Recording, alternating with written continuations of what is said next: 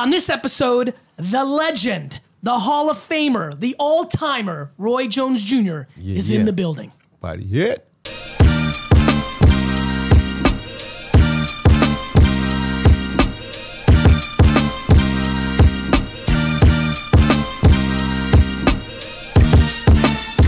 Hey, everybody, this is Gary Vaynerchuk, and this is episode 273 of the Ask Gary Vee Show. And for all of you that know me, obviously, I named one of my books, Jab, Jab, Jab, Right Hook. I'm a huge boxing fan, and to be in the presence of one of the all time greatest to ever do it is super exciting to me, especially with his musical and entrepreneurial and other ventures outside the ring. And because I watch so much damn boxing, he's obviously had an incredible post outside the ring announcing. I mean, you may go in the Hall of Fame as an announcer. uh, Roy Jones Jr. is in the building. Champ, it's really good to have you here. Thank you, my brother. My man, how are here. you? Thank you. I'm good. Roy, I'm good. for the for the couple of people who are watching this who don't know who you are, Mm-hmm. give us a little story. Give us the origin story in comic book talk. Where are you from? How did your career transpire? And what are you up to today? I'm from Pensacola, Florida. Uh, my career transpired because I played football first, right? When I played football, I was the quarterback and the defensive right end. Well, sometime when I played quarterback, guys would get a lick on me because I ran the ball a lot as a quarterback. and on defense, I got around on defense on right end. I always usually try to get my leg back. Well, some of the guys that played on the bigger teams didn't play on defense. They just played. I mean, didn't play on offense. They just played on defense. Mm-hmm. So they hit me, and I couldn't hit them back. Bam, ain't gonna work. I need somebody to hit you back right now, and a lot of times. You understand me? So I started. So, boxing. Roy, real quick, I love this. So, you're saying for a lot of people like sports the way I do, when you're younger, junior high and under, Hmm. you're playing both sides of the field. And since you were getting drilled, that was okay because Mm-hmm. Yeah. you knew you had an at bat. Oh, I'm gonna get you back. but once high school started and people played just No, one, No, when the team, when I said bigger team, I mean like teams that had more players. I see. They had an offense and a defense. We E- didn't have a lot of players, and I was like the best player on my team. So I played both sides. We didn't have a lot of players. Uh-huh. they were just enjoying hitting you. You yeah, didn't get said, that no, lick that's back. not gonna work. So I need to find me another sport. So, how old were you when you got into I boxing? About, I was about ten when I started boxing. Why did that happen? Well, because I, I seen my friend get a black eye in baseball. He couldn't hit the ball back and give it a black eye, so I said that won't work. I couldn't get my I couldn't get my lick back quick enough in football because some guys play offense, but they didn't play. I mean, play defense, but they didn't play offense, so I couldn't get my lick back there. You, you know what's? I'm gonna listen. I want everybody who's watching this show or listening on the podcast to understand you're not gonna like this episode as much because I'm such a boxing nerd. I'm gonna bring up some really esoteric nuances that is going to go way over the head of a lot of people. But I'm being selfish today because Roy's in the building. Roy, I find this funny. Your thesis is. If I, you know, I didn't mind getting hit as long as I had the chance to hit back. Right. Right. Right. We're hearing it over and over over and over again. what I find fascinating is I don't think, especially the real young people or don't really, really follow boxing, realize you are an all time, for everybody, you got to hear this. This is funny to me. You are an all time great defensive fighter. Right. Like all time. Like you are so good defensively in your career. Mm-hmm. I find it funny that the hit, getting hit and then hitting back was the thesis mm-hmm. to somebody who was so ridiculously difficult to hit. Right. That's why I was difficult to hit because I knew that the baseball gave him a black eye. Ain't no baseball gonna hit me. You I understand, understand. me? And in football, if you hit me, it's because I'm a big target. You got to be able to tackle me. Of me. course. But I'm gonna get my lick back. But what happened was in boxing, I figured out I can get my lick back five or six times to one. Oh, those are great stats. Uh-huh. You like those odds. Yeah. And then your speed was so obnoxious. Ridiculous, ridiculous, and his head. It really was, guys. Go to YouTube, look the- look it up. I'm telling you right now. Connors has called it. It is all over. Like it's a you know, I obviously in modern times, a lot of you know that Floyd is an all-time great defensive fighter. There's a difference between the two of them. This also the at the weights they fought at, and we'll Yeah. get into the heavyweight stuff, which is insane. Um, your speed was off the charts. It was off the charts, and my head because your head is a smaller target than your whole body. It made it difficult because you got to hit this small head. yeah. So with that being said, I said now after watching Muhammad Ali do that to Joe Frazier, I got myself something. Boxing, they can't beat me. They can't win. So what happened? Did boxing click right away? You walk in the gym like literally was the first day. Like every like Mm-hmm. was it obvious? It was not obvious at all. It was not obvious until my father taught me the basic craft. Yep. Once he taught me the basic craft, when we went to our first situation where we had fights, we had exhibition fights. Mm-hmm. I think I stood out. Me and one other guy stood out more so than everybody else. Who was the other guy? The other guy's name was Curtis Green. He Curtis was an older guy. He was about 15. Okay. I was only 10. But Curtis Green was ridiculously fast too. So I knew at some point my father liked that speed. So I said, okay, I got to get fast one day too. But I stood out because I was doing things that nobody's seen young kids do, and uh, I was pretty pretty good. Were you hooked right away? I was hooked. You fell in right love. Well, because I can get my leg back. Now I can get it back four or five to one. We need, we need to get this man a T-shirt about getting that lick back. I gotta have my lick back. Did, what, at ten, you start boxing. Mm. Within that same year, or maybe at eleven or twelve, like when did you say I'm going to be a professional boxer? Well, at ten, at no, fifteen, no, no, no, no. at I didn't say it I got about fif- 14. fourteen? Yeah, 14. And really at 14, I really wasn't sure I was going to be a professional. I was sure that I wanted to try to go to the Olympics. Right. Yeah. And there's a whole story there. Yeah, there's a whole story. Why don't So- you give the quick story to everybody? Well, the story that was I trained from when I was 10 to when I was 19 to go to the Olympics. I get to the Olympics, I beat up everybody over there, and I come home with the most outstanding boxer of the tournament, the best amateur boxer in the world, basically. But I got a silver medal. What the hell is wrong with that picture? Well, I'll tell you what's wrong with it. It was the most ridiculous situation, maybe in Olympic boxing Yep. history. And what's more ridiculous about it is 30 years later, and they still haven't reversed it. Have you been fighting for the reversal? I don't fight for nothing. No, I let y'all have that. I can't get my lick back, so y'all go ahead on. We'll move on past that one. You feel me? So, Now, yeah, had I- he start, had he, had he turned professional, You would've I'd- beat the shit I'd- out of I'd got my lick back. So I'll fight you. Listen, I'll fight you under one condition: the gold medal has to be up. he didn't go professional. No, he never had another. What'd he do? He knew he was lucky. Have you ever seen him? You want? No, I ain't never seen him. Somebody let me talk to him on the phone once. Yeah? Yeah, he's When? coach. He's coaching. Um, a guy called me. They was at a world amateur tournament, and he's coaching the Korean team now. Interesting. See the thing. What'd he say? He just spoke to say how it was, but what he said after the fight, the night after the fight, I had the interpreter ask him. Yeah. After the fight, I said, ask him, do he think he really won? Because he really, if he said yeah, Hey, guys, it, it- honestly, Listen, it's listen the most like listen, I told her to ask him because that was gonna be my confidence, my piece. Yeah. So he said, no, I knew I didn't win. That was good enough for me. I see. Because man to man, we closed the book. for a lot of the casual people listening, watching, everybody knows there's a lot of bad decisions in boxing. I'm telling you right now, it is for hardcore boxing people might be the worst of all time, Yeah, which the- says a whole lot. Well, if he doesn't win the goal off this, then I think there's something rotten in Korea because that is absolutely one of the most dominant things I've the seen. winner is on point 3-2 in the blue corner. Well, there it is. Park Si-hun has stolen the belt. This is worse than bad because I was the youngest kid on the Olympic team, and you think in the Olympics you don't have a problem. You feel me? So in the Olympics, you thinking, hey, in the Olympics I'm good, but it's like in the Olympics you get robbed. That's pretty rough. You know? So good, you go pro. yeah, What happens next? become a beast. Now I got something to prove. Now I got to get my lick back. Then stole my Did gold medal. do you feel that that became a chip on your shoulder? of that course. So- what? so- well, I, no, no, here's I cat- understand that. Here's a cat that won his lick back. Now y'all don't rob me of my gold medal. So Come do you on. believe that flat out you had a better professional boxing career because you got a silver medal? Yes, without a doubt. That's the blessing that God gives us. That's how I tell people all the time. You got to know how to take a negative and let God turn it into a positive for you. He took the biggest negative I thought that I've ever encountered in my life or endured in my life and turned it to the best positive for me that it ever could have been. That's how I rose and became pound for pound number one. To give you an example of that, I was at the Olympics as a junior middleweight. Yep. 156 pounds. Yep. I come home, I turn professional as a junior middleweight. Yep. 154 pounds. Yep. No person has ever turned professional as a junior middleweight and became heavyweight champion of the world. Well, that's yeah. I mean, we'll get it. no into person. Roy. The amount of people that have ever gone. I mean, cruiser is like lightweight, but the jump that you made, Yeah. John Ruiz fight, right? Yep. yep. Um, and oh, about the defense, I meant to tell you this too. I was the first person in CompuBox history ever to go a whole three minute round without getting hit. Huh? And they talk about Andy. Flores defense. What? Do What? you, do you get? do you, you know what's funny? I was going to ask. I'm glad you brought it up because Yeah. I'm trying to navigate here. I'm trying to be I strategic. I'm I see you where I'm you're with you going. You saw that I created a little bit of an opening. I'm with you here. I'm very. Fa- I call it the Willie Mays rule. Mm-hmm. I was fascinated when I was a kid. I'm super. You can see Chachka Sports, Mm-hmm. boxing, all of it. I was fascinated when I started realizing.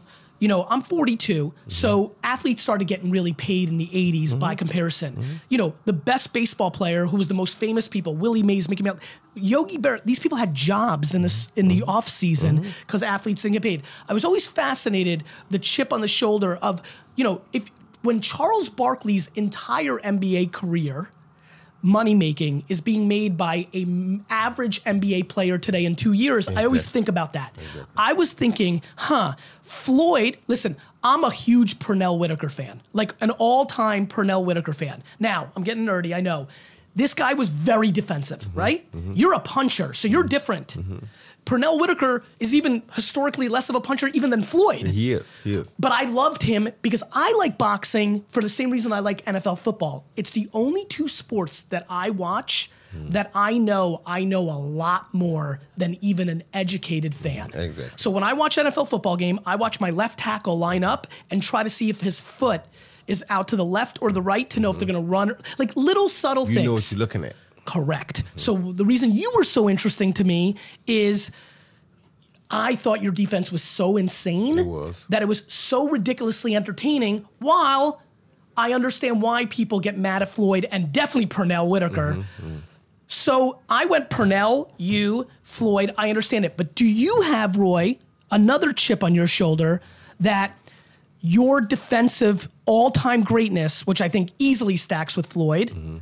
In today's social media world, if you were boxing today, uh, do you think about fuck if I was boxing today with the way with your charisma and social media that you would be exponentially I know, I know that would be without a, without a doubt. But my point is that I don't cower spilled milk, and so it's like for me, I take things like this Star Vizn thing where they give me an opportunity to bring my skills to an app and give it back to people. Let's talk about that. You went right into that. Yeah, I I like the right hook that you just yeah, threw. yeah, exactly. I, I love your strategy right now. yes. You've been bobbing and weaving. Now you just punched me in the face. I like it.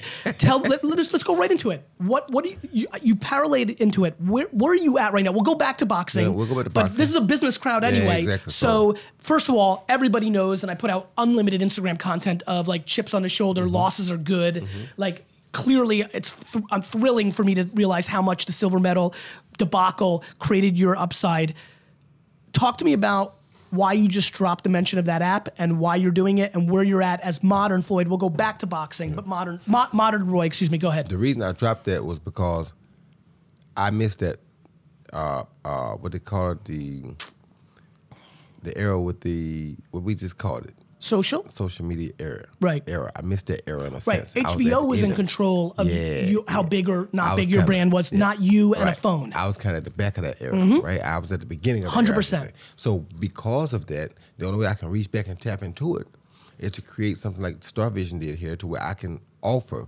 people my expertise, the opportunity to know what it feels like, my thought pattern even when I'm in, in the ring fighting. So by giving that to people, it's something you're gonna want to see too, because you being a bigger boxing fan as you are, you're gonna want to know sometimes what does he think or what was he thinking at that time.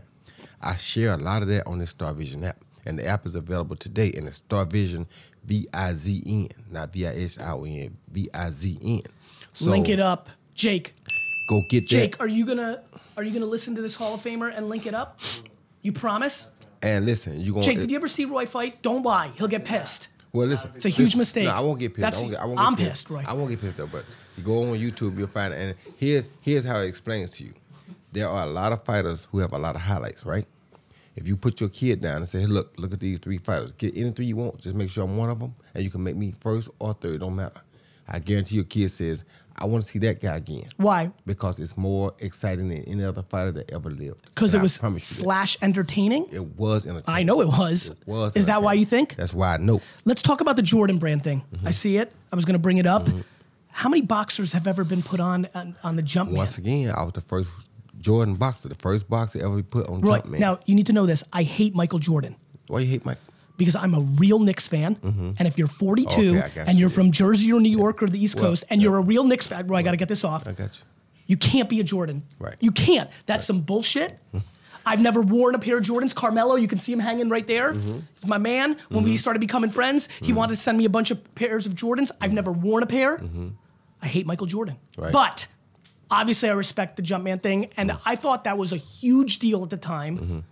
Was that a big thing for you? It was a huge thing for me because he was my favorite athlete. Of course. And with that winning mentality that, that he had, it set him aside from everybody else. I and get it. And the problem I got with it is that we hate Michael. You hate Michael Jordan in a sense, and you already hate By the way, I know- I know nobody hates Michael Jordan besides me. No, no. But I think I'm the and- only and Michael Jordan hater on earth. And you don't really hate Michael Jordan. I respect the piss out of him. No, Yeah. no, I actually hate him. No, let me finish But the respect is all time. But let me explain. Let me Please. explain something. to you. When you respect somebody like that, it's almost impossible to hate him because you got too much respect. To I hate him. totally me understand. finish, though. Let me That's exactly right. You got too much respect to hate him. That's true. Yet you hate what he does, and that he had to be the one to do it to your team. I cried, right? I, I would have too if I, was cried. Knick.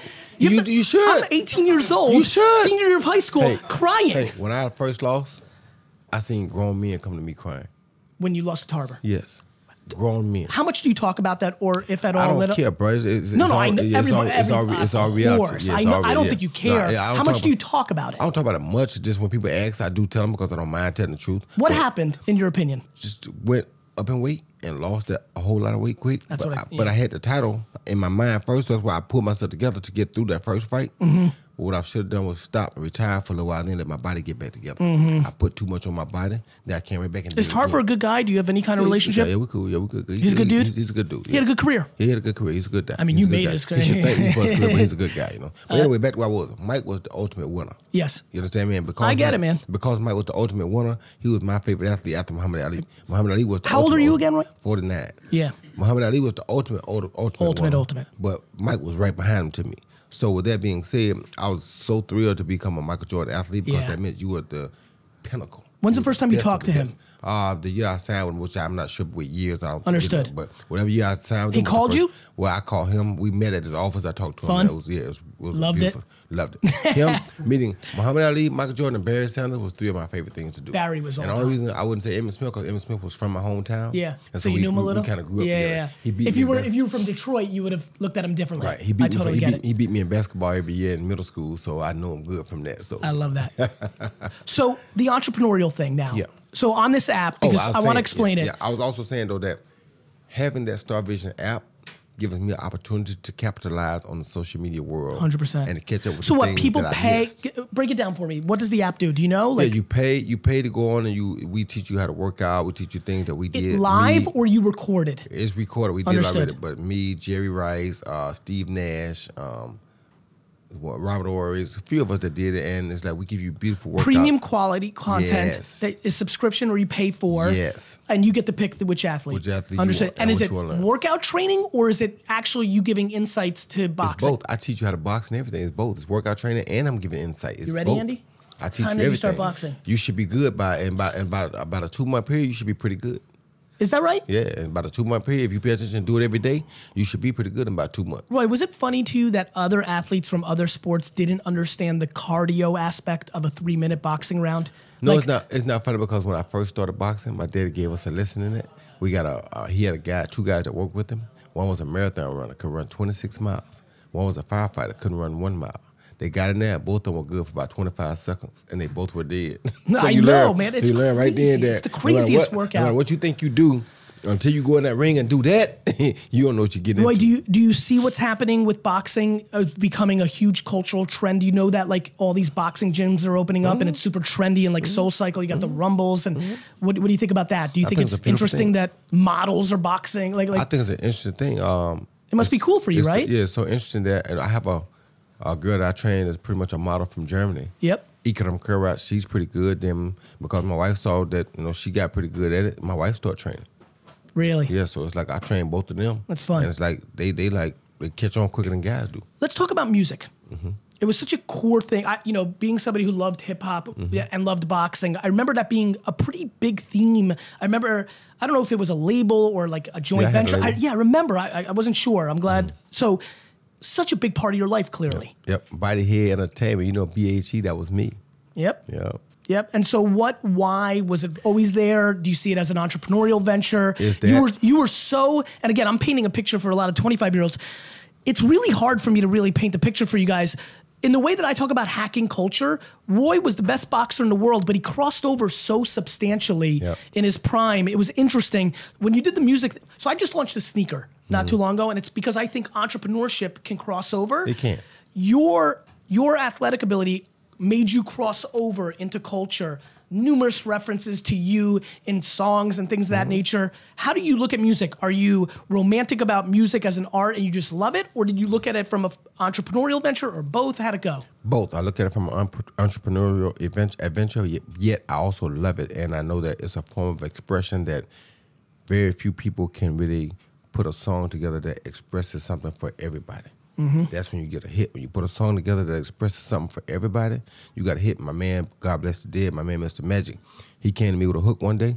I said, that's gonna be the hottest song of the summer. The hook was, I smoke, mm-hmm. I drink, mm-hmm. I supposed to stop, but I can't. Now, I don't smoke or drink. But you But understood the, the I audience. understood, and I understood how many people do smoke and drink, Yes. and want to Yes. stop, but they can't. It, I said, dude, that's it. Yep. that's it. Yep. That is it. Truth. Yes. So when you can express a truth for people in a way that they can't really express it, you give them a way to express themselves. Who's the most interesting young fighter in boxing right now?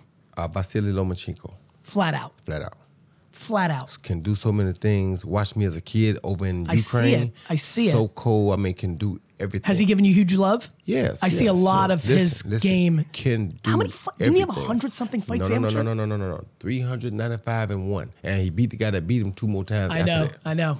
Three hundred ninety-five and one. And One- Roy, he wait. lost his second fight professionally, right? Because he Yeah, made a crazy yeah. jump, right? You know, he didn't make a crazy jump. The kid didn't make weight. The kid came in heavy. Uh-huh. Yeah, and the kid did something to him that he never seen before. Which was? Wrestle and make it a rough, ugly fight. And over in over in the eastern part of the world, they don't fight like that. I understand. They fight clear and clean. Uh-huh. You don't get to hold and Uh-huh, wrestle. the elbow. Uh-huh. But the Mexicans know about all that because they've been surviving like that for years. But, the, but the Eastern Europeans were not able to turn pro up, Mm-hmm. until a couple of years ago. So they are not as as Why did in- they turn the corner in this last decade? well, they had to because a lot of kids want to get out of the country. A lot No, of kids want to go so- where they can make money and do things on their own. So do you- Uh, you Go to ahead. be honest with you, with the walls falling, with the USSR going Yep. down, and with this, you know, that type of life changing, now people get the opportunity to go out and make their own life. Roy, you just said something that I heard Larry Merchant say when I was uh, 10 years old, which is if you want to know where the great boxing's coming from, Mm-hmm. it's the people that are the hungriest and have the least Mm-hmm. because the nature of the sport is, you know, you kind of just said that in a different way. Do you believe in that truth? Well, I do believe in that truth in some sense, but here's what the real truth is. The real truth is, is it does come from that hunger because you need that hunger to survive and to want to go about things and do things. Yet, some of the real boxing now, though, is coming from the area where they're where they have schools, Mm-hmm. where the kids grew up in the school of boxing because they had the same hunger already. Because Mm-hmm. most of them were living in, in um, what they call it, um, like the Soviet Union was with the com- communism. Most of them were living in that, so Mm-hmm. Yep. they couldn't really go out and do their own thing. Yep. But they grew up forced to go through these schools and learn. That's right. So when they got older, now that the communism has failed, they're able to go out and, do have a little things- freedom. have a little freedom and do their own thing. But they got this instilled in them already. Same with the Cubans. The Cubans were, if you think about the Russians and the Cubans, and when I say Russians, you got to put the Ukrainian, all those guys. Mm-hmm. The former Soviet Russians. Union. Yeah. Yep. Those guys are dominating the Olympics right now. Yep. They're dominate. We don't even hardly get gold medals no more because we, we of have, them. We have nothing brewing. But because they grew up in schools where they were forced to go to school and learn how to box. and it has the emergence of the money in basketball and football. You think, ta- like, if LeBron James wanted to be a boxer because he was born 40 years earlier, do Mm. you believe that the athletes that make the great fighters like yourself are now choosing basketball? No, I don't believe that. I'm So what's why happening? I'm tell you why I don't believe that. What the problem is for us, and you got to think about it like I just told you a little while ago. Yep. We have one Olympian every four years that comes out used to emerge to be somebody, right? That's right. They don't have one. They do well as a whole unit. That's right. They bring a team. that systematically, That's exactly right. They bring a team full of guys that are capable of winning a gold medal every time. We bring one or two guys who stand out. The rest of them are average. Roy, a little who- bit above average because they beat the other guys to get there, but you know. Right, you made such an unbelievable transition to behind the mic. Mm-hmm. Who do you admire historically? Who do you think are some of the best announcers or boxing personalities in history? I mean, it's a lot of them. Bert Sugar, uh, Howard Cosell. Uh, I love Jim Lampley. Uh, Larry Merchant was good. Max is very, very good. There are a lot of guys who were good. Um, but you know, I just I don't really I never looked at it like that Yep. because I look at it as though I'm a guy who knows because I was in there. You were in there So it's a little bit easier for me to tell you exactly what's going on in there a lot, than it is for these guys because they've never been in there. of course. So you have to kind of make that balance and try to make it work as a balance. A hundred percent, and that's why Emanuel Steward was so great That's at what he exactly did right. because he had his own different He'd perspective. He'd been in there before, Mhm. yes. So, what about what about the next chapter? The how are you thinking about your next decade, the next two decades? The how are you how are you strategizing victory going forward? Star Vizn is my first victory. That Yes. that gives me my social media missed days that bring them back for me. Are you so that's an app where you're monetizing. Are you putting out content on Twitter and Instagram? Have you gotten course. serious about that? Of course, I'm not as serious as I probably should be, Uh-huh. but I do just. Are you willing to make a commitment on this social media show that you're going to make a bigger commitment? I'm gonna make a bigger commitment. Okay, I have to it. because with Star Vizn, Locked in. because with Star a lot of people are real happy right now, Roy. Vision, the team is to ha- make a bigger the team is happy right now. I know they are. I know they are. And Does it not come natural to you? Uh, or be, you know what's crazy to me as somebody knows a hell of a lot more about you than you know about me Okay. you are a layup to be ridiculously successful in that Right. environment Right. given your personality Yeah, but my problem is, is that I've been so back hill in my whole life. I always hold back because I was a guy who I don't like to offend people okay and I don't care what people like because I do what I do and I don't care what you do. You feel me? so right uh, yes So, i feel you my point- my tremendously point- my- i, my I point live is- it myself Yeah, i'm so always going to so- do me so but there's people that get offended and i hate it yeah, Exactly. But the thing is, I don't like to sit there because I'm a fighter first by nature. You know, I always like to get my lick back. Right, So if you ever I got don't me caught up in into face. that, now I'm now I'm gonna be going back and forth, and I don't need that. So I try to avoid it because I know what I'm capable of getting. So I'm excited right now. You're telling me, and it makes a hell of a lot of sense for it to me right now, that one of the things that made you concerned about going all in on social was when somebody said some bullshit. I want my lick back. Ah, that's incredible. listen, I say, listen, I'm already scared. I get it. You understand what I'm No, so you really right? Yeah, You so thought I you would get dragged. You well- knew that you. Well, you know that some people got those bad opinions. You feel me? Mm-hmm. But you have to learn to let them people have their opinion. They they're entitled to their opinion. So it's like it's best to not get yourself overly indulged in it. Or me, I ain't gonna argue for so long. Now I want to fight. give me your opinion on Errol Spence Jr. I think he's a pretty good fighter. He's got a little way to go, but he's a pretty good fighter. I'm really into him. I like him, but I'm not. I haven't gotten sold on him yet because Well, he hasn't. He has got more work to do. Mm-hmm. he got But more. what? to do. But what? What do you think? Like all of you did on Yeah. the way up. Yeah, but she ain't listen to me. You got to listen to me good. Good. When I say I haven't gotten into him yet, it's because when I see a guy fight, it's like when Sugar Ray Leonard's brother Roger Leonard first seen me at 17. He said, "Man, this dude is an old man. You know what that means? Experience. He knows so much Mm-hmm. and he do so much in the ring that it seemed like he been here before." They don't show me that a lot. I seen it when I first saw Lomachenko. I told Max, and I said, "That go the best fighter fighting right now." They right there. They said, "How you know that?"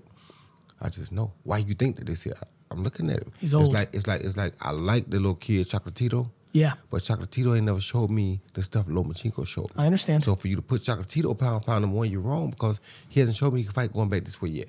He haven't shown me he can fight going that way or that way. He only showed me he can fight going that way. That's one dimensional. So does that then carry over into your your points of view on the heavyweight division, where clearly for the first time there's a fight that the world may want, Mm-hmm. but they're awfully one dimensional guys. which is why it shouldn't happen yet because the one guy who's totally one dimensional needs to get more multi-dimensional before they make the fight. But he's running his mouth and he wants the payday. he don't want to pay that the other guy does. The guy who is one dimensional, but his one dimension is a hell of a dimension. That's wilder. Yep. his one dimension is one dimension, but it's a hell of a dimension. So you- you think- he right now has the upper hand, you- so he can talk. You think Wilder's ridiculous wide like haymakers Yeah. are too j- dangerous for Joshua? Well, let me let me. What what if they fought? Who would you think would well, let me cut it down Please. like. I love Joshua as a person, as a fighter. I love him to death. He's like the coolest dude. If I had to say, if if if, if God came in and said right now, make one guy your champion that you thought you want your kids to look up to, I'm gonna pick Anthony Joshua. I agree. You understand where I'm coming Yes. from? Because he's that kind of guy. Yes. But experience wise, if if Klitschko can drop you with a right hand, and Klitschko is what forty years old, his right hand ain't fast or as good as Wilder's. But it's straighter. Who? Klitschko's. No, no, no, no, no, no, no. You haven't watched Wilder lately. Wilder has developed into a killer. Wilder's Well, he's right- a killer. No, no, no, no, no, no. That straight right hand is all he really has. He ain't knock nobody out with nothing else.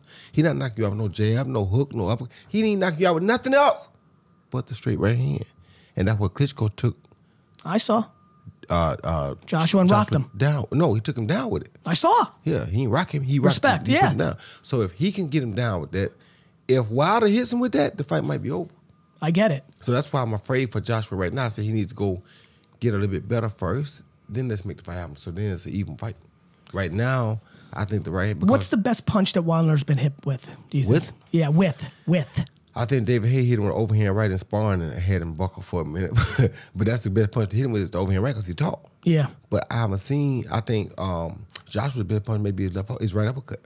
That's you, and you got to be close to land that. So all the punches we talk about, even the overhand right, you got to be. That's a Mike Tyson type punch. You got to be closer to land those punches. Wilder Mm-hmm. That's hit why you I out worked when you were shorter. Yeah, Mhm. that's why I'm thinking Wilder got the better chance because he's out there. Do you think that's going to be a super fight?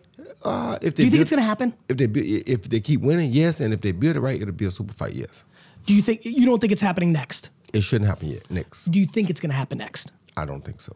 Do you think McGregor is going to go back into the ring? I'm sure he will. Because the money's too big. Why not? Agreed. Who do you think he fights? Either Pacquiao or De La Hoya. De La Hoya asked for him. Pacquiao, he wants to go in the ring. He knows They Pacquiao. all want. They all want. It's Why all would they there, not? right? Why would they not? What else is going on in culture, business? Let's get out of the you know squared circle. What else is going on? You know, obviously that is part of the plan for the next twenty years. Mm-hmm. Right. What else are you thinking about? Well, I'm gonna take this. Then I'm gonna take it worldwide Oh because crap! You know what? I'm having so much fun. We're not even doing calls. Face, you forgot too. No, I didn't forget. You've been so letting you do your captivated by this. Got it. Facebook, put in your phone numbers. Let's do this. Let's get some calls in for Roy, business, boxing, whatever you want to go with. I'd love to get some boxing. As you can tell, I'm nerding out. Uh, uh, go ahead while we get some phone calls, Andy. You can go right saying, into so, it. Go ahead. Trying to take the Star Vizn, I got to take it worldwide because you know also I'm a dual citizen. Are you? Do you, I know. yeah, so being a dual citizen of Russia and the United States Yeah. of America, Which is a rarity. I want to try to share it all. You know what I'm saying? And what's funny about that, man, it, it's a rarity, but it's not really a rarity. There are several guys that I know that have United States Of course, of passports course. that they know. do you know I'm that I was born in Belarus in the former Soviet Union? I can believe it. Yeah, I can believe it. But there I- are several I guys left- that yeah. have, and they make an issue of me because I'm a celebrity. Well, look, but I come think on, yo. that I mean, know, listen, other they're people making can do it. listen. If you can't- go walk across the street right now, they're going to make an Of issue. I mean, of that's you know course. that's the price you pay for Yeah. being Roy Jones Jr. it's all good. Who's this? Uh, Brian. All right, let's see how exciting Brian gets. Brian Kenny. I wish it was Brian Kenny. Hi, Brian. Brian, it's Gary Vaynerchuk, and you're on the Ask Gary Vee show with Roy Jones Jr. My man, how Well- are you? Yeah, I'm doing good, Brian. How you doing, brother? Hey, uh, I'm doing awesome. And uh, I don't know if you follow the guy right across from you, but you got to follow him, and you got to say, fuck your feelings, Roy. you got to say, screw it, man. And not let some 16 year old kid in Podunk, Indiana, let you worry about what you're doing. He's, he's not worried about it. He's worried about what he's going to do to that 16 year old I'm, kid. I'm not worried about what I'm doing. I just worry about what what what, the, what the, what's going to happen to that kid for, for messing with me when I don't want to be messed with. That's all I was saying. yeah, Roy's not going to punch him on Twitter. He's going to punch him in his face in real life. I, I want to go to his house, find his address, figure out who he is, show up at the front door. Brian, don't want- worry. We'll get him there. After I- the cameras and go off, I'm going to have a nice little chat. We'll get Roy in the right mindset for social. And I don't want to be a 16 year old kid. I want to be a grown man with some muscle behind him. I love it. Brian, you got a question? Yeah, I got two questions. Go ahead, sir. First of all, Gary, you got to put the checkerboard fat laces in the 002s. Got it. Go old school. Adidas. I'm in. And then, I know and then, him. Roy, what is your prized possession? Like, there's that one thing that you hold on to that, like, screw the money, screw everything That's else. This is the one thing. For me, it's the St. Christopher medal given to me by my daughter, by my wife and my daughter. For two me, years ago. for me, it's the heavyweight belt that God gave me because I never thought in a million years as a kid that I, Roy Jones Jr., would ever be the heavyweight champion of the world. That is only insane. the grace of God. You know, the best is yet to come too. Thank you, my the brother. The best is yet to come. You're young as fuck, and Gary, like I'm, I'm the guy who gave you. I didn't come this far to come this far. That Yep. little plaque. Yep, that I have it. Yep. To the masses. Yep. Like that's still on. That's still on if you want it, my friend. I love it, man. Thank, Thank you. you, We'll be in touch. All right, Appreciate it, man. Brian. Have a great you. holiday. Yeah. The heavyweight thing is crazy. Let's get another call. I agree with you. That is bonkers that you became the heavyweight come on, championship. bro. Look and, and you not only you dominated that T- t- fight, completely. but you knew that going. You felt incredibly confident. I'm asking, or did I you, felt what would- overly confident because I knew that's I was what God wanted me to be. at that point? Right. That's what up up to that point. Mm-hmm. What was the hardest you were hit? Um, um, a guy hit me named Eddie Evans at the fairground in Pensacola, Yeah. and let me let me finish. no, I'm, I'm excited. That's a giggle of excitement. I stopped him, but I was pissed off because the referee stopped it too quick. I said I got my lick back, but that ain't good enough. really. I need a few more. The referee now How he's, about the- how about the body shot the referee to said- Virgil? yeah, the referee said he quit. I said well, he can't quit yet. You're that not ain't good finished. enough. I ain't through yet. Talk to me about the That body a- shot. That was hard, one of the hardest body shots I ever landed. That is an all time. Set it up Is that so on beautifully. YouTube? Yeah, I set it up so Guys, beautifully. look yes. at this. Virgil Hill, right? Uh, Right hook to the body. So far, it's Jones's power over Hill's jab. Right to the body, down. Unheard of. Unheard of. great fighter. Paya. Virgil was a great He fighter. won a silver medal at the '84 Olympics. Real fighter. Yeah, quick silver. What about James Toney? He was one of the slickest fighters I ever faced in my whole life. Real, like the shoulder, Slickest right? dude Those ever. shoulders. He did all the And Floyd so Mayweather. he- stacked. he, did all the Floyd, Floyd Mayweather stuff that Floyd does. I agree. Yet he could knock you out at any round. That's right. Yep. Real great fighter. Yep. Who's this? Dwight. It's Gary Vee. You're on the Ask Gary Vee show with Roy Jones Jr. No fucking way. Yes, yeah, fucking way. dude. Yeah. Finally. What Jesus up? Christ, man. You made it. Oh man, I'm What- so excited, dude. I don't even know like what to ask. Thank you, Dwight. It's so glad to have you on here. I'm glad you got a chance to get through. Wow, uh, Roy, bro, you're like my one of my idols, man. You're, Hey, thank you, brother. Like the way you weave, man. Like, oh Jesus. all right, all right, all right. Um, uh, is it true that you were gonna fight Buster Douglas, Roy? No, I was never gonna fight Buster Douglas. I was trying to fight uh, Mike Anderson. Tyson. What about Anderson Mike Silva? Tyson one time. I'm still trying to fight Anderson What- Silva right now. You're still trying to do that, right? Yeah, because me, me Yeah, you don't know about this, Dwight? Yeah. This is the under the radar thing that I think the fighting What world. You Anderson Silva. Roy Jones Jr. This has been an undercurrent. I think there's something there. I've been saving it for my punchline, but you went with the Buster thing. I'm like, fuck it. Here's my try, oh chance oh to slide God. in. I'm a, I'm a MMA. I'm a MMA fighter. Listen, this is a Like, real- Listen, like, listen, bro. Roy, I listen, need to hear it from listen, you. Right here. Listen, me and Anderson Silva have been trying to fight way before Floyd Mayweather and McGregor ever thought about this. We've been trying to fight for nine years now. Nobody, would- and and they wouldn't let him get free to fight me. So it's like it's ridiculous that they let. But but it's You like be- it's like it's like you know how it is the racial thing. Black versus white sell tickets, that's- so they listen, let that happen. But it's like me and him could have did this long time ago, and we were at the pinnacle of our careers when we first started talking about it. So why they still won't let us fight right now, I don't know. is that still in the cards? Yeah, he still wants to fight me, and I still want to fight him. So In why what not? rules? But just boxing. He has thirteen. he has fourteen. crazy. I know. He has That's fourteen professional crazy. I boxing know. matches. I know. So the thing, the different thing about it is he has boxing experience. So it's understand it's conceivable that So, so he quick, can do it. He, both right, unlike McGregor, Yeah. they were different. Yeah. Real quick, Dude, Bo- Brian, I'm talking to Roy Jones Jr. That's exactly right. you sure are, Dwight. Roy, My brother's sleeping. no worries. Wake his ass up, Dwight. Uh, Roy, This Roy Jones Jr. Dude, Roy. Yeah. Yo, Both Roy of you guys wanna fight? I don't- Both yeah, of I us want to fight right now still, and the UFC won't let him free to fight. Got it. Roy, like, you guys, like, Dwight, Dwight, Dwight, Dwight. Hold on, hold on, hold on. I know you're fired up, but I want to make sure you get off what you're trying to say. What was that? Uh, I don't really have any questions. I'm just kind of like in the moment. All right, listen, Right Dwight, now, Dwight, Dwight, Both you really Dwight. set the blueprint, and I'm just trying to like follow you guys. So it's just, it's just We really great appreciate it, moment Dwight. Go right ahead. now, so Thank you, Dwight. Really like my main question. Dwight, listen, Roy's got something to tell you. Dwight, listen to this. I know you don't have a question, but listen to this good, okay? You listening? Yeah, yeah, yeah. I'm a fighter, man. Just I bet. me, I, give I me bet. something, man. Oh, I'm gonna give you something. Well, first thing is you gotta keep your mind, keep God first in everything you do. And when you go to fight, know you going to fight. When you fight, one thing about a real fighter is you're willing to die before you quit. You understand me? That's what I love. That's Yes, what I believe. That's what I believe in. Second, I'm trying to tell you that I'm 48, going on 49 in January, and I'm still right now because of how big it is and how big of an event it is, and I know what it means to him. I'm still willing to fight Anderson Silva tomorrow if he was free to do it. You're fucking savage. Oh my You better believe Dwight. Dwight, I need you to tweet Anderson Silva right now and tell him to stop ducking Roy. Matter of fact, I got on the end of a verse in my song. I love it. Dwight, thanks for calling, man. So Anderson's not ducking. This is more of a UFC contract thing, right? So that makes me feel like there's a chance. I mean, I don't know how long his contract is, or I don't know Yeah, those he got- contracts they- very well. They locked him up for a long time because they knew he wanted. To I do get it. He's a star. Yeah. So, but he is. Do you love watching him fight when he's in the Yeah, octagon? I loved it. He was my to me like he was my He all time favorite. Yeah. crazy. I mean, Got one more for us? And where do you sit on the MMA boxing Oh, thing? no, I love it all. Don't get me wrong. I love Yep. anybody. Anybody got the heart to go in and face another man at what he does, man to man. I love that. You know what I mean? Anybody. So whether you MMA fighting, whether you boxing, whether what you about wrestling, chess? Chess too. Because Mm-hmm. chess is a mental thing. It's a mental battle, but it's still a battle. And you got to sit there and be focused for a long period of time to outthink somebody. Who's the best trainer in the game right now? Boxing. the best trainer in the game right now, and I hate to say this, uh, with not that I No, I get to say it. it, no, Yeah. but I'm just like I I can't don't wait wanna hear be- what you're gonna say. I want to be disrespectful to nobody, I respect that. but it's one man's opinion. Yeah, yeah, but you're not yeah, no, it's disrespecting. yeah, yeah, it's opinion to a degree, but it's really not an opinion. It's fact. Yeah, it's pretty much a fact. Okay, so set it up. Give it to us now. My dad taught me the best foundation ever.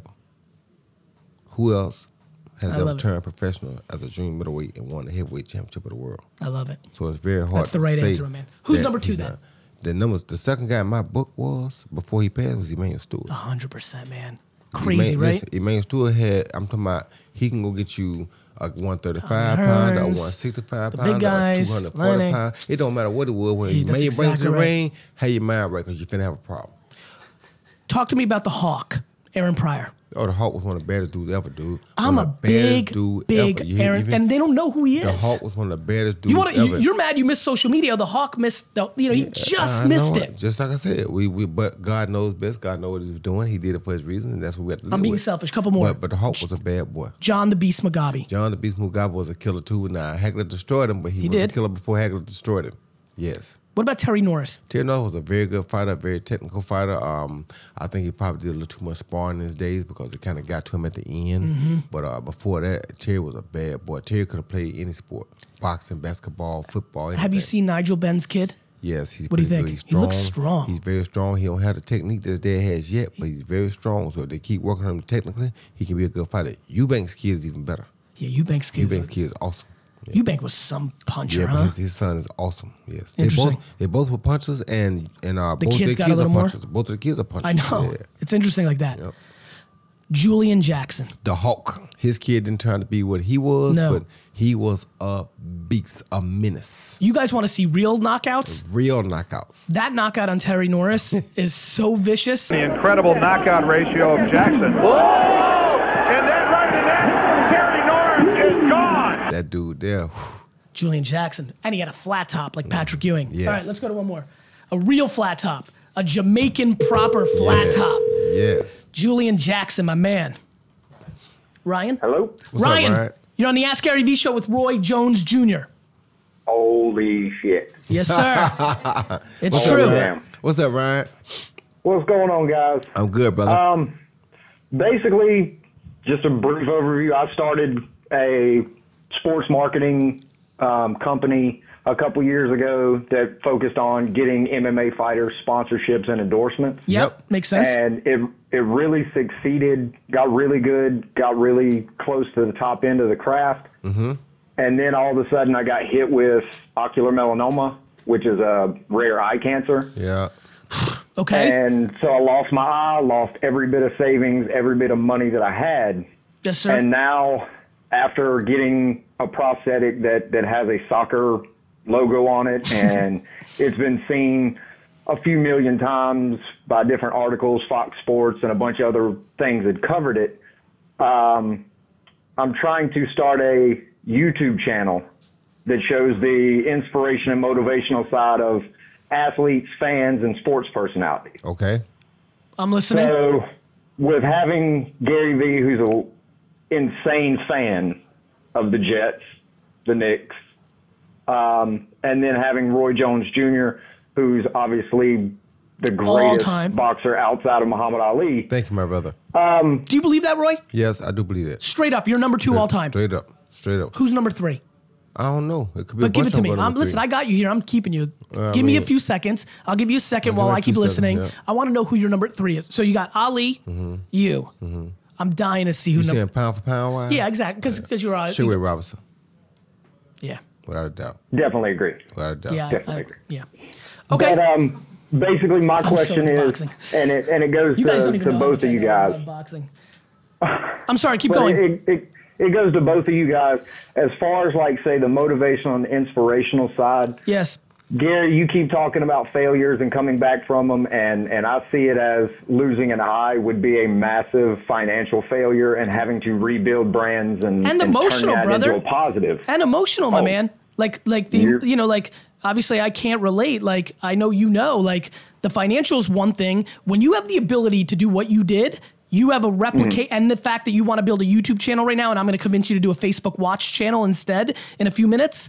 You Okay. have the ability to do that again. Your eye's not coming back. Hmm. I know, I can even tell by the tone of how you are talking mm-hmm. that you know you can get the financial. It's not fun that you were on the cusp and your fucking eye did this thing, but I can even tell by the way that you're talking that you know you can get the dollars back. Mm-hmm. Do you? I mean, it just takes. I mean, it takes some work, but No I mean, shit. as long as My man, and, it all takes work. Is, is, well, the other thing is, is two weeks ago I found out I have Crohn's on top of it, so that's something that you can relate to as Of well. course, so my brother AJ has it. setback. Yep. That eye is incredible. But um, but basically, what I'd like to ask both of you is, with Roy having having a few losses that knocked you down, and and seeing the the pundits and stuff like that talk down about you and stuff, have there been fans that have contacted you or that you've seen stories that just watching you lose a fight or, or lose something and then coming back stronger has that uh, like would, a, would does that like affect you in any way Of does course. that make it you want to go out and help more fans and Of course, the just just to see the the fan side as far because I know Gary helps a lot of athletes and stuff as well. I mean, does does that inspire the athlete as much as the athlete would inspire the fan? Yes, it does. That's the whole thing that inspires the athlete with the hope that that would happen. We go because we hope that one day somebody will see us and realize that we went through the same similar type things that they have gone through or are going through, and that we didn't give up. We kept going. That's why I came back after the Olympics, after they robbed me of a gold medal. When I was in Seoul, Korea, my goal was to quit boxing because of what had happened to me. When I got back and saw my kids that were on my amateur team at the time and saw the looks in their eyes, I said, "How can you tell them?" In life ever that if something knocks you down, you got to get back up and keep going. If you lay down and don't get back up. So I immediately had to change my mind, change my thought process, and start back fighting. And not only that, I had to start back fighting, I had to go show them that just because you get knocked down, don't mean you just come back, but you come back way, way, way stronger and harder than you did before you got knocked out. Roy, who reached out to you after your first? Again, I'm trying to paint a picture here, guys. Roy, and you know, this- I'm, uh, you know, he's here. Uh, it's not fun to talk about, but Roy is on the same plane as a Mike Tyson. Most of us did not see a scenario where Roy was ever going to lose a fight, Yeah. uh, which I'm sure you thought too. Yeah. So, who reached out to to Ryan's point?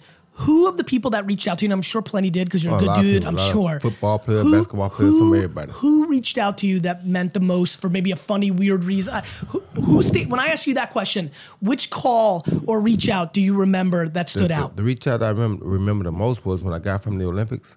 Everybody was so happy. Everybody was happy to see me because of what I went through, what I Yep. endured, had endured, and the way I, I did it. Yep. So everybody was so proud of me till I got to the young kids on my amateur team. Mm-hmm. They didn't give a damn about none of that. All they gave a damn about was the last thing they heard me say, which was, "I think I'm gonna quit boxing." Yeah, they That's were worried about all that. was in their eyes. They Yep. wasn't worried about nothing else. Yep. The world was going Yep. in for them Yep. if I quit fighting. Yeah, I get it. And that Ryan, that's that, Ryan, that fixed me. couple things. Um, Andy and I have been looking at your content while we're here. You have Mm. you have to very seriously consider a Facebook Watch show instead of YouTube. For everybody listening, you know, just to get on, on the business uh, kick here for a minute, it is very difficult in a heavily mature YouTube to break out. Mm-hmm. It is very difficult. You have to be disproportionately incredible at tile images, at headlines, at understanding the algorithm, and on top of it, be remarkably talented. Meanwhile, mm-hmm. Facebook, in its quest to be very competitive against YouTube and become a video player, is disproportionately helping Facebook Watch shows show up in news feeds, and there are far less people producing shows on Facebook. You have a supply and demand issue. Uh, This is systematic, similar to Eastern European growth in boxing. I'm begging you to get very serious, educated. Google Facebook Watch shows, learn everything you can, and immediately go all in and create your Facebook uh, show tomorrow. Now, the only other question I've got is a few of the, the larger name, uh, like soccer players and athletes. How do I go around having to pay insane amounts just for a an Shout interview? out. Because a lot of easy, Okay. easy. The person that asks never has the leverage. Okay. The way you do it is by listening to me right now and buying up inexpensive property. It's called Facebook Watch. It's Malibu 45 years ago. I promise you. This is what I've been historically good at. I don't have plaques of Uber and Facebook and Twitter and Tumblr. You know, it's for me to brag about my one skill, which is I can see it a few seconds earlier. And it doesn't, Andy, you know this. I mean, you're, you're doing it with me. It doesn't take a rocket scientist. We're just practitioners of our craft, just like, you know, just like James Toney's shoulder, right? Mm-hmm. It's Exactly. practitionership. Exactly. It will 100%. Hmm. I'm not guessing here. You know, everyone's like, Mm-hmm. yeah, you did. I'm not guessing. Musically, I got to love the, the other day because I was right. It was already big. It wasn't like I guessed. I'm not guessing here, Ryan. Here's how you do it you get to interview the biggest soccer players in the world when they ask Mm-hmm. for you to be on their sh- your show. Go and build a huge audience. It can be done on Facebook And when you tell Messi 14 million soccer fans watch your program, I have a funny feeling when Messi has a new app, He's gonna want to come and put it on your program. and there you go. Hmm. Do you understand? Yeah, because I mean, it's yes, yes, sir, and I mean, it, it's not just uh, those people. It's when it spiders out into like Of course the course. Usain Bolts and all Of those course. guys that Listen. are that are fans. Listen. kind of soccer's the- one of the biggest, if not the down. biggest global sport in the world. There's tons of fans of it. Even America gives a crap now. Obviously, the U.S. team not making it will slow it down, but will not stop it. Go and create a tremendous show on Facebook Watch. H- Hold your breath and be patient for 24 months and watch them come to you. okay. right, now, do. I need to kind of build it through Instagram as well, or just Every- solely off everywhere Of, you have attention, you drive towards that spot. You should go change Okay. your email header at the bottom or footer, excuse me, right now and l- have a link that says check out my new show link. Roy, I don't know how much you email or if you do or you don't, but if you do even once a day, change your footer and say check out my new app and link to this app. Like people aren't siphoning attention from other places to the place that they want it to. So of course Instagram and your email and go knock on your fucking neighbor's door and tell them to watch the show. That's right. Okay. Good. See ya. Thank you, sir. Roy, the the big part of this show is that every guest gets to ask the Vayner Nation a question. It could be mm-hmm. anything. You could be getting insight to your app, a mm-hmm. question that you're curious about mm-hmm. in culture, in boxing, in life. Uh, but that is the question of the day. You get to ask it. What is your question of the day of the audience? They will answer in Facebook and YouTube. We'll get thousands and thousands of comments. What would you like to ask them? I would like to ask you guys how many of y'all are gonna participate in this app? how many of y'all gonna try to figure out, learn my style of boxing from my app? That's what I want to know. I appreciate the right hook to end the show. My man, it's a real pleasure, real honor for me. I really enjoyed it. Thank you. Roy Jones Jr., happy holidays to everybody. We'll see ya. You keep asking questions, we'll keep answering them. Ta-da.